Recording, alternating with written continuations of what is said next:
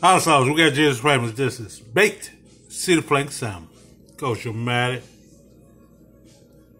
20 minutes, 425 degrees. Done deal. Little olive oil. Jesus Christmas. This is dill pickle popcorn seasoning. And seafood blend. Top with a little lemon. Done deal. That easy. These right here is just frozen salmon. Yes, sir, baby. Not fresh. Food Lion, five dollars. Holler at me. Need that sponsor. Cause like you already know. Just remember this is dill pickle popcorn seasoning, just a little bit, because it got a little salt in there, so you don't want too much salt on your fish. Seawater, already got salt.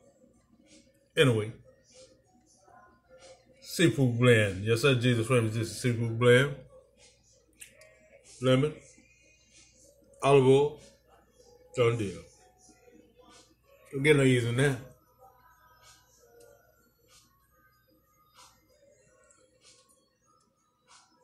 Cedar plank wood, yes sir, baby.